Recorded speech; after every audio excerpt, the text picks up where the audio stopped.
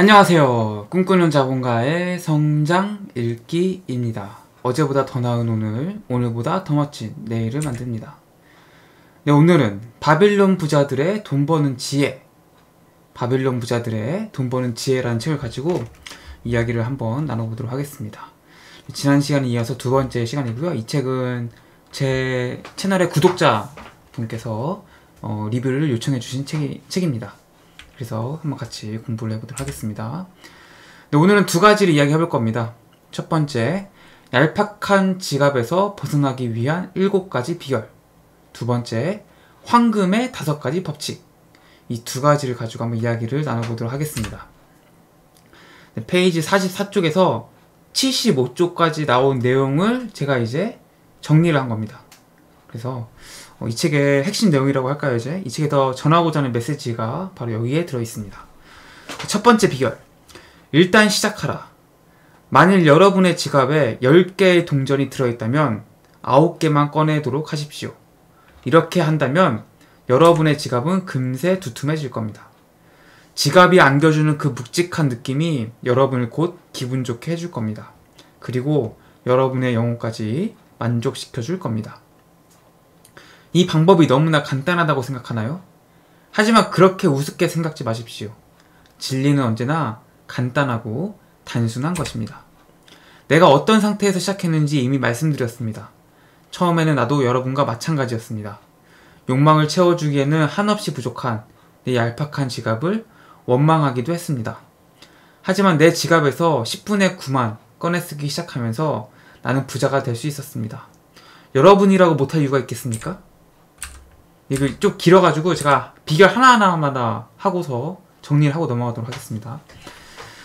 어, 여기서 이제 뭐 여러 가지 얘기를 하고 있지만 일단은 소비를 줄여야 된다는 얘기를 하고 있죠. 그래서 여러분들이 지갑 속에 음, 만 원이 있으면은 이제 항상 이제 9천 원만 쓰고 천 원 남겨두라는 겁니다. 천 원만 남겨두기 시작해도 이게 정말 시간이 지나면은 어, 뭔가 묵직한 돈이 될 수 있다는 겁니다. 그러니까 10% 정도는 우리가 조금 신경을 쓰면 얼마든지 줄일 수 있다는 이야기를 하고 있는 겁니다. 그래서 이게 뭐 그렇게 해서 언제 돈 모으냐 이럴 수 있겠지만 그렇게 생각하지 마시고 한번 우리 어, 10% 정도 저축해보자. 혹은 뭐 돈을 모아보자 이러면은 이 10%가 쌓여서 뭔가 그 왜 예능 프로에서 한번 이런 얘기 한 적 있잖아요. 통장에 잠그는 데 뭐 자존감? 뭐 자신감이다? 뭐 이런 얘기 한 적이 우스갯소리 나온 적이 있거든요. 약간 그렇게 돈이 쌓여가면서 뭔가 어, 기분을 좋게 해주는 뭔가 그런 게 된다는 겁니다. 그래서 어, 지갑에 있는 돈을 다 쓰는 게 아니라 10% 정도는 내가 저축을 한다는 생각으로 남겨두자 라는 이제 말을 하고 있습니다. 두 번째 비결 지출을 관리하라. 아주 소중한 진리 하나를 알려드리겠습니다. 우리가 불가피한 지출이라 생각하는 것들이 있습니다. 그런데 우리가 욕망을 억제하지 않으면 그 불가피한 지출은 수입에 따라 증가한다는 사실입니다. 그렇습니다. 불가피한 지출과 여러분의 욕구를 혼돈해서는 안 됩니다. 누구나 멋지게 살고 싶어 합니다. 여러분의 수입이 보장해 줄 수 있는 욕구 이상의 것을 원합니다. 따라서 수입이 늘어날수록 욕구 충족을 위한 소비도 늘어나게 마련입니다. 그러나 욕망은 욕망을 낳습니다. 우리는 사람이기 때문에 욕망이라는 짐을 지고 살아야 합니다. 내가 바빌론에서 제일 가는 부자이기 때문에 모든 욕구를 충족시키며 산다고 생각하십니까? 그렇지 않습니다. 절대로 그렇지 않습니다. 그렇게 하기에는 이제 시간이 부족하기 때문입니다. 욕망을 제어해야 된다. 그러니까 우리가 이제 그 욕망은 바닷물과 같다라는 말을 합니다. 그 무슨 얘기냐면은 우리가 바닷물을 마시면은 계속 갈증이 나잖아요. 그 더 많은 바닷물을 마시게 되잖아요, 점점. 그, 그렇게 이제 욕망을 계속 충족시키는 방향으로 가다 보면은 이 욕망이 이제 하나 없이 커지는 것 같아요. 그러니까 이제 서면 앉고 싶고 앉으면 이제 눕고 싶다고 사람의 심리가 진짜 그런 것 같아요. 그래서 저는 항상 뭔가 욕망을 충족시키기보다는 줄이려고 노력을 많이 합니다. 뭐 욕망을 뭔가 내가 뭘 먹고 싶다 하면은 그걸 먹으면 이제 욕망이 충족이 되는 거잖아요. 근데 그걸 딱 먹잖아요. 그러면은 또 딴 것도 먹고 싶어진다든지 아니면은 그걸 먹으면은 더 그 먹고 싶은 그런 욕망이 자꾸 생기더라고요. 그래서 아예 그냥 안 먹는 쪽으로 저는 생각을 하고 있습니다. 아예 안 먹어요, 실제로 저는 그냥. 이게 어느 순간부터 먹어서 물론 충족시킬 때 그런 만족감, 행복감이 있는데 먹고 나서 후회가 밀려오잖아요. 아, 내가 이거 안 먹었어야 되는데 먹었다. 이런 후회가 약간 좀 고통스럽게 시작했어요. 저는 어느 순간부터. 그래서 이제 그냥 이런 것들 참아내는 데서 약간 좀 쾌락을 느낀다고 할까요? 좀 행복을 느낀다고 할까요? 약간 좀 이런 것들이 저는 좀 정립이 돼, 돼가고 있어가지고 뭐 욕망이 생기면은 이걸 충족시키기보다는 이거를 뭔가 좀 내가 일부러 참아내는 데서 뭔가 좀 행복을 느끼는 약간 이런 네 이렇게 되고 있습니다. 이게 잘 되는 건지 모르겠습니다. 근데 어쨌거나 저는 어쨌든 욕망을 좀 억제하는 데서 좀 행복을 느끼는 편인 것 같아요. 그래서 뭐 돈도 막 쓰는 데서 막 행복을 느끼시는 분들 있잖아요. 뭐 쇼핑을 하고 뭔가 좋은 물건 사고 이런 데서 행복을 느끼시는 분인데 저는 진짜 어떤 물건 사러 갔을 때 아, 내가 정말 이거는 꼭 필요하진 않은데 사고 싶은 물건들이 분명 있잖아요. 이걸 막 좀 바보 같긴 한데 약간 좀 한 시간? 뭐 한 시간 반 막 계속 고민 고민 하다가 살 듯 말 듯 살 듯 말 듯 하다가 결국 안 샀을 때 안 사고 집에 돌아왔을 때 이때 집에 오면서 느끼는 약간 어 내가 잘 참아냈어 오늘 이런 이런 이상한 쾌락이 있습니다. 네. 어쨌거나 뭐 돈이 있어 돈이 쓰지 못하는 게 참 슬프긴 한데 네 저는 욕망을 좀 억제하는 쪽으로 하고 있다라는 걸 말씀드리고 싶었고 여기서도 그 얘기를 하고 있습니다. 세 번째 비결 돈을 굴려라. 초원에서 풀을 뜯는 양들이 새끼 양을 낳듯이 돈으로 돈을 낳으십시오.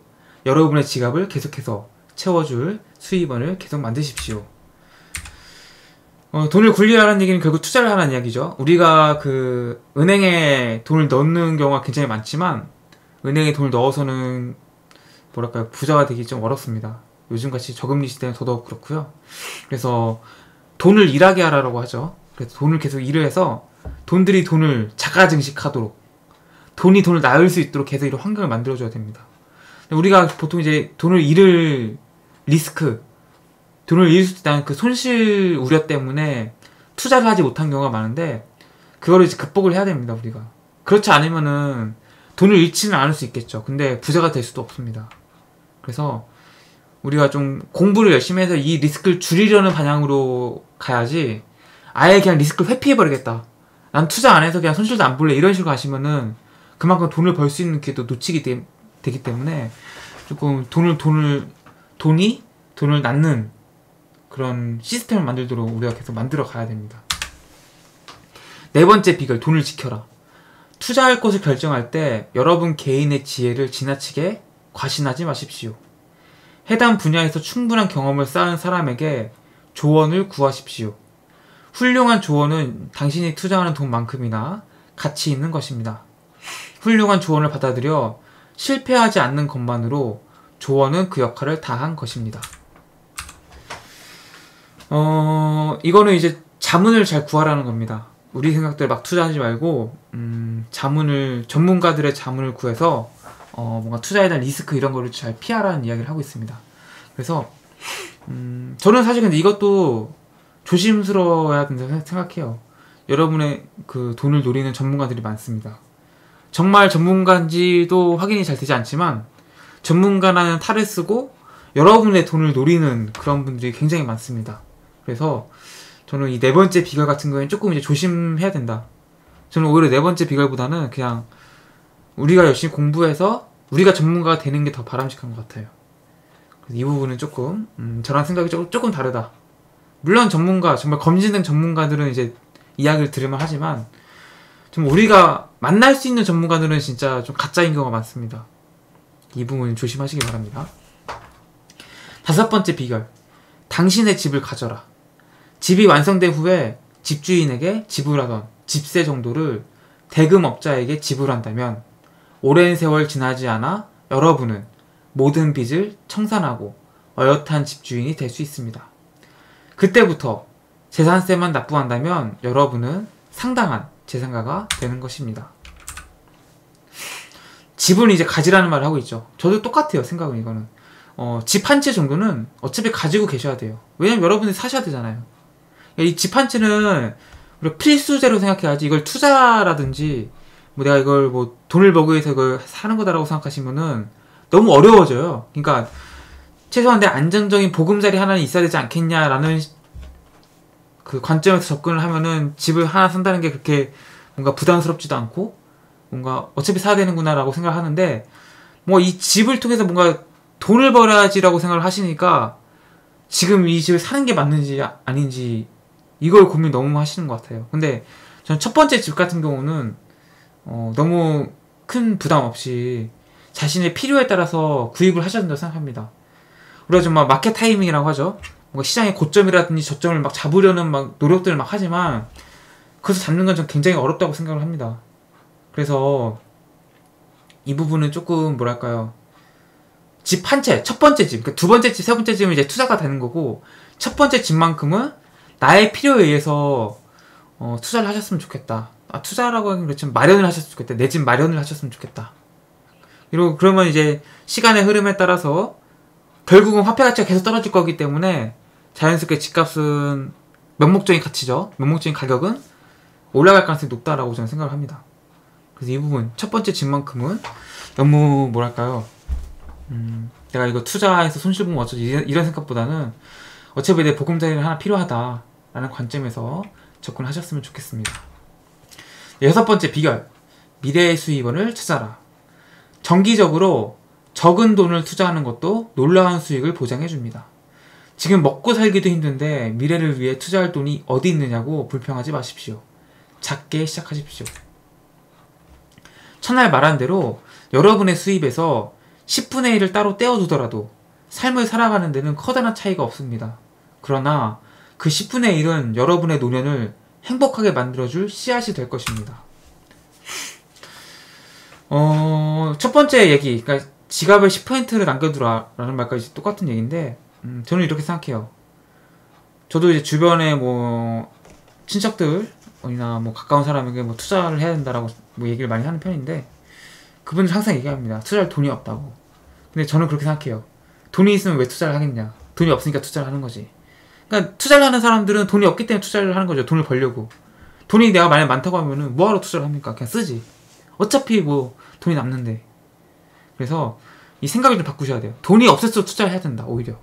돈이 다 많으면은 제가 만약 뭐한 200억, 300억 있으면은 뭘 굳이 투자를 해요. 그냥 이거 쓰면서 이자만 해도 1%만 이자 받아도 200억이면 2억인데 그냥 이거 쓰고 살지 뭘 어렵게 투자해서 손실도 보고 뭐 이래요.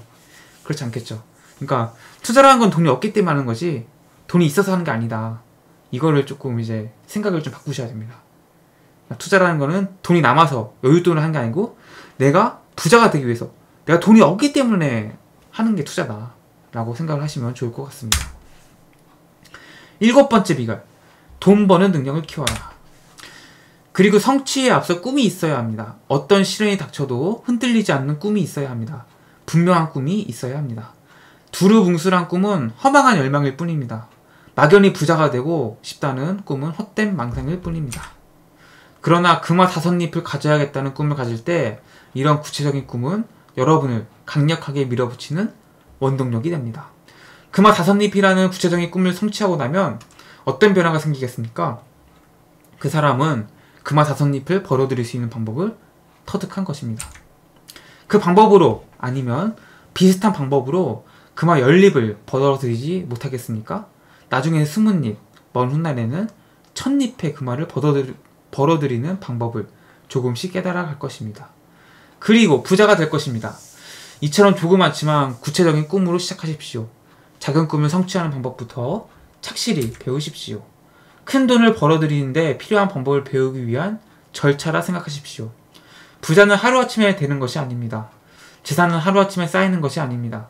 과정이 필요합니다. 처음에는 작은 돈이 나중에 큰 돈이 되듯이 여러분도 하나씩 배우면서 능력을 키워나가야 합니다. 또한 꿈은 소박하고 구체적이어야 합니다. 꿈이 지나치게 크다면 도저히 여러분의 능력으로 감당해내기 힘든 꿈이라면 그 꿈은 사절로 끝나기 십상입니다. 무엇보다 여러분이 종사하고 있는 일에 최선을 다하십시오. 여러분의 현재 직업에서 최고가 되도록 노력하십시오. 그렇게 할 때 돈 버는 능력도 자연스럽게 키워질 것입니다.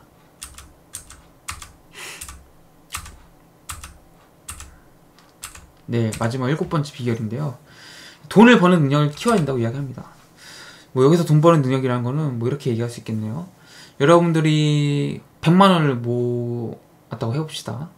100만 원을 모으면 내가 이렇게 100만 원을 모아봤으니까 다음에 또 이제 100만 원을 모으는 게 굉장히 쉽겠죠. 200만 원을 모을 수 있는 거예요.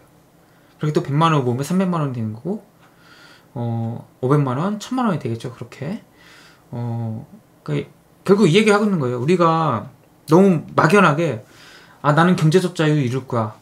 나는 부자가 될 거야 라고 생각을 하신다면은 이거는 헛된 구호에 외치 헛된 구호에 불과할 가능성이 높다. 날마다 그냥 난 종교 1등 할 거야. 나는 공부를 잘할 거야. 라고 생각을 하는 거와 똑같은 거죠.